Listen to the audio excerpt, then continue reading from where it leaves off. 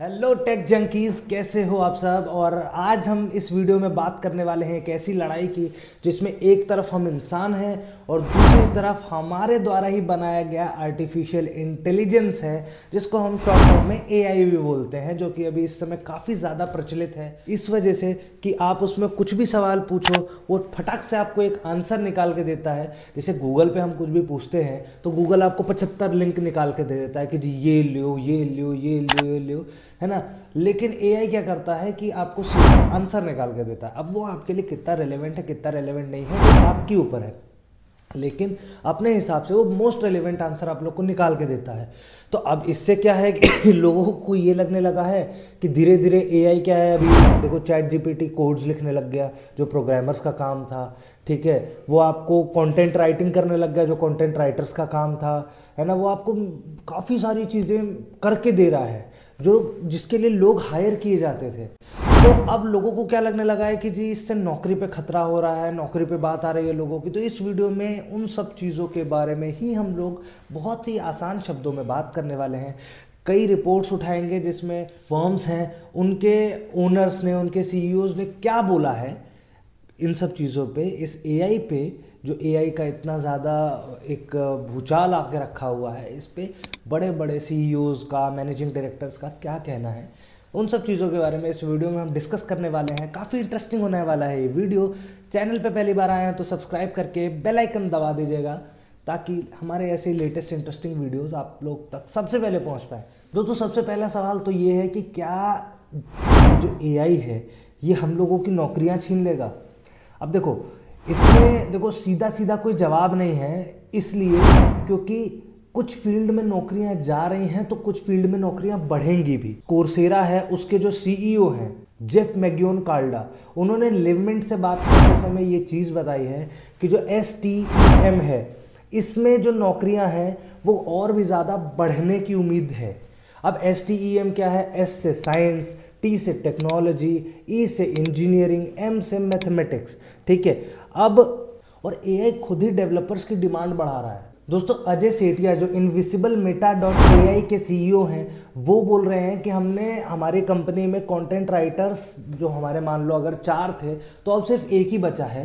लेकिन take developers जो हैं, मान लो सॉफ्टवेयर डेवलपर्स हो गए वेब डेवलपर्स हो गए, उनकी जो नौकरियाँ थी वो दोगुना हो गई। तो वही जो मैं स्टार्टिंग में कह रहा था दोस्तों कि अगर एक फ़ील्ड से आपकी नौकरियाँ थोड़ी कम होंगी तो दूसरे फ़ील्ड में नौकरियाँ बढ़ भी रही हैं। तो आप ये देखोगे तो नौकरियाँ ओवरऑल ऑन एन एवरेज कम नहीं हो रही हैं। एवरेज में आपका संतुलन बना रहेगा, लेकिन हाँ कुछ फ़ील्ड ऐसी हैं जहाँ भाई, अब जैसे कंटेंट क्रिएट कंटेंट राइटर्स हैं, अब उनकी नौकरियाँ तो खतरे में पड़ने की चांसेस हैं, क्योंकि चैट जीपीटी तो देखो दोस्तों आप लोग को सिंपल आंसर निकाल के दे देता था। मान लो मुझे आ, कोई फलाना फलाना टॉपिक पे आ, कुछ स्क्रिप्ट चाहिए मान लो अगर ठीक है? मैंने चैट जीपीटी में डाला वो मुझे एक स्क्रिप्ट निकाल के दे सकता था। लेकिन जो गूगल बार्ड है वो तो क्रिएटिव तरीके से भी उसमें अपने अपनी कुछ चीज़ें डालता रहता है। अब क्या है कि एआई जो है, वो सिंपल आंसर्स निकाल के नहीं दे रहा। उसमें कुछ अपनी क्रिएटिविटी भी डाल रहा है, जो हमारे कंटेंट राइटर्स क्रिएटिविटी निकाल के डालते थे। अब लेकिन एक चीज़ और मैं कहूँगा कंटेंट राइटर्स के ही पक्ष में कहूँगा कि जितना इनोवेटिव सोच के ऑब्ज़र्व ऑब्ज़र्व करके हम लोग जैसे गाँव देहात में हम लोग ऑब्ज़र्व करते हैं ना लोगों को, वो सब चीज़ें करके, वो सब चीज़ें जो लिखते थे, वो खैर अभी ये एआई तो नहीं कर पाएगा, लेकिन हाँ काफ़ी हद तक क्रिएटिविटी उसमें भी आ रही है।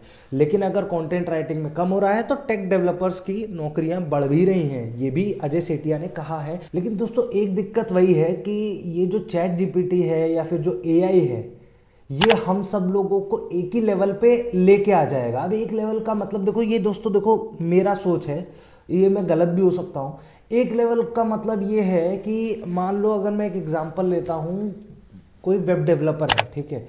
अब वेब डेवलपर क्या है? कोई कोड लिखता है अगर एक एक डेवलपर है जो कोड लिखता है अपने सोच वोच के और उस, अपने एक्सपीरियंस से सारी चीज़ें करता है, ठीक है?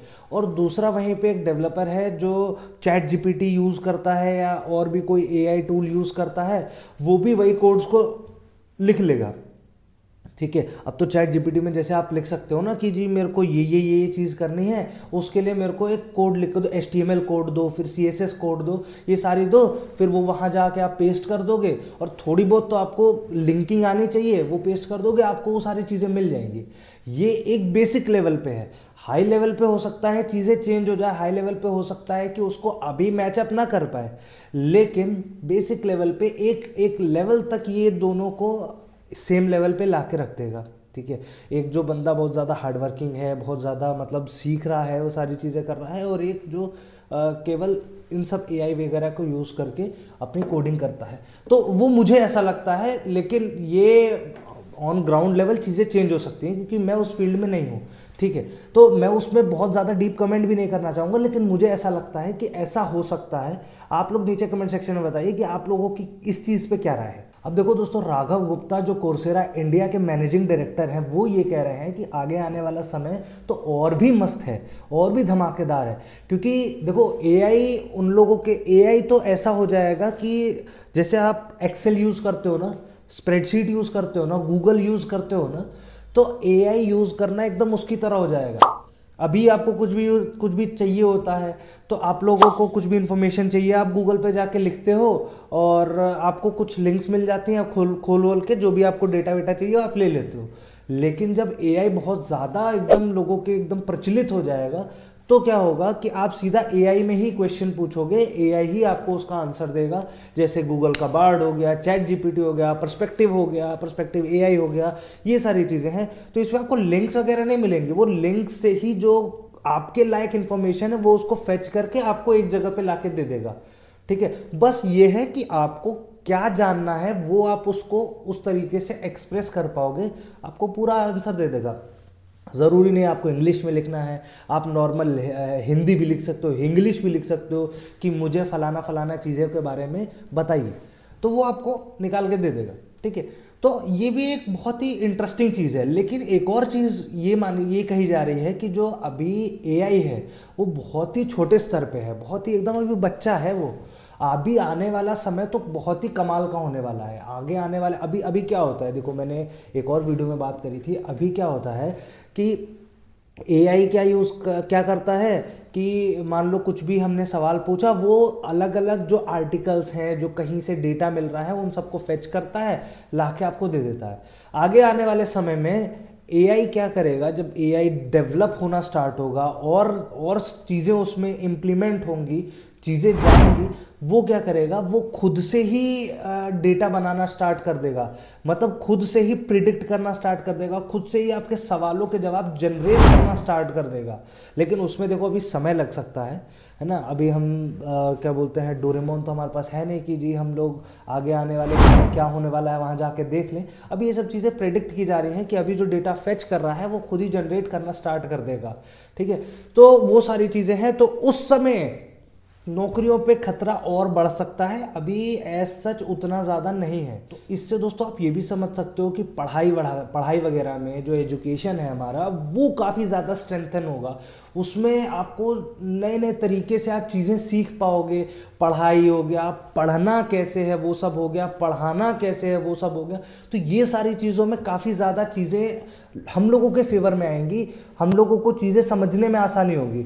और वो धीरे धीरे डेवलप होगा तो अगर एक तरफ़ से हम उसका साइड इफ़ेक्ट देख रहे हैं तो दूसरी तरफ़ से हमारे लिए कुछ फ़ायदा भी होगा। हमारे को कुछ सीखने को भी अच्छी अच्छी चीज़ें मिलेंगी। दोस्तों the a idea of India जो ई e की एक रिपोर्ट है 104 पन्नों की रिपोर्ट है, उसमें वो लोग दावा कर रहे हैं कि जो इंडिया की जीडीपी है, वो लगभग 359 बिलियन डॉलर से लेके 438 बिलियन डॉलर तक बढ़ाई जा सकती है, और उसमें एआई का बहुत ज़्यादा अच्छा योगदान देखने को मिल सकता है आप लोगों को। और दोस्तों, उनका कहना ये है कि सभी सेक्टर्स को फ़ायदा होगा specially business services education health care और रिटेल इन सबको फ़ायदा होने वाला है। इसमें हमको सिर्फ़ इतना नहीं देखना है कि जिन नौकरियाँ जाएँगी, हमको ये भी देखना है कि देश का जो विकास होगा, वो भी होगा। और दोस्तों, ये भी हम लोग को अभी याद रखना चाहिए कि क्रिएटिविटी में तो हम इंसानी बाजीगर हैं। ठीक है, आगे कल क्या होने वाला है, कल क्या नहीं होने वाला है, वो सबको तो अभी साइड में रख देते हैं। अभी के हिसाब से देखा जाए तो जैसे मैंने पहले भी बोला कि क्रिएटिविटी में तो हम ही हैं। वो कहाँ से क्या क्या चीज़ें उठानी है, ये चाचा कैसे बोलते हैं, ये ताऊ जी कैसे बोलते हैं, भैया कैसे बोलते हैं, ये कैसे बोलते हैं, वो सब तो हम ही कर सकते हैं ना।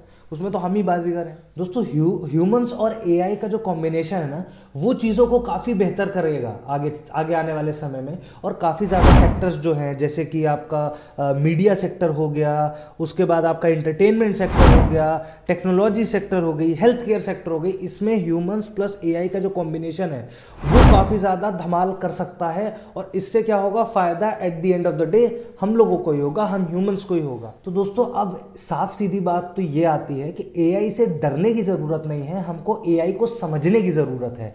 एआई को अगर हम समझेंगे तो उसका यूज़ करके हम अपनी स्किल्स को और बेहतर बना पाएँगे, अपने आप को और बेहतर बना पाएँगे और अपनी रिलेवेंसी को प्रूव कर पाएँगे, कहीं पे भी हो हम। चाहे वो जॉब हो, चाहे वो आप अपना पर्सनल खुद का बिज़नेस कर रहे हो, वो हो, चाहे आप किसी भी सेक्टर में कुछ भी काम कर रहे हो, वो हो। हमको AI को AI से डरना नहीं है, हमको AI को समझना है। AI के यूज़ करके AI से यूज़ लेके हमको अपने आप को, अपनी स्किल्स को बेहतर बनाना है। और एक ए आई प्लस ह्यूमन का कॉम्बो बन जाएगा तो फिर तो उससे चीज़ें कमाल हो जाएँगी, है ना? हेल्थ केयर सेक्टर में इसका मतलब एक बहुत ज़्यादा एक्सपेक्टेशन है कि हेल्थ केयर सेक्टर में ये काफ़ी ज़्यादा रिवॉल्यूशन रिवोल्यूशन लेके आएगा तो वो एक देखने लायक चीज़ होगी ज़रूर, ठीक है? तो आई होप दोस्तों आप लोग को वीडियो पसंद आया होगा। अपने जो भी आप लोग के विचार हैं, जो भी चीज़ें हैं थॉट्स हैं, नीचे कमेंट सेक्शन में मेरे साथ शेयर करिए। हम उसको पढ़ेंगे और उसके बाद हम समझेंगे कि जी जनता क्या सोच रही है? ये तो भाई हमारे कुछ ओपिनियंस थे कुछ थॉट्स थे। इसमें कुछ हमने आ, कुछ लोगों के इंटरव्यूज़ से कुछ चीज़ें कलेक्ट करके निकाली। तो दोस्तों यही सब चीज़ें थी। आई होप आप लोग भी नीचे कमेंट सेक्शन में अपनी अपनी राय देंगे। यही तक था दोस्तों इस वीडियो में। मिलते हैं अगले किसी वीडियो में। तब तक के लिए नमस्कार। जय हिंद।